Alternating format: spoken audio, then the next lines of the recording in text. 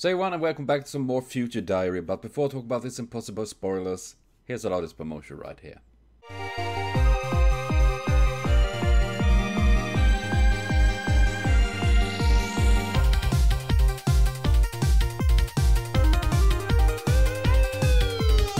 So please be sure to check out MyangHime for more amazing art. Links to Demon link below. We also find links to this reaction video of two more episodes of Mirai Nikki, and my god, this show is really fucking with my brain. I'm just saying, my god. God, we we get to see the fifth diary owner, the the little kid.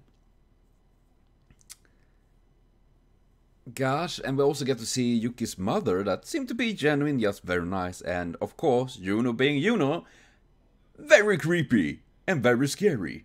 Makes me worried. I love this though, my god.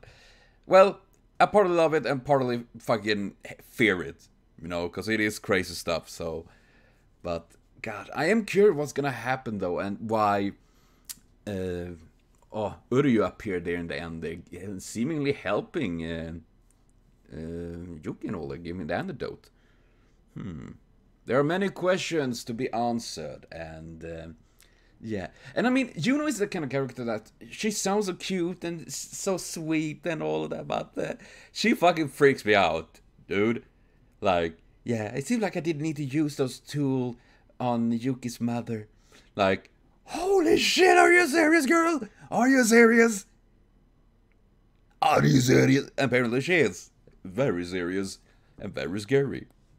Oh god, but yes, I will be back though with more Yuki Miri, Yuki Miri, Mirai Nikki, there we go, next week. So thank you for watching, see you later on, and have a continue super great day.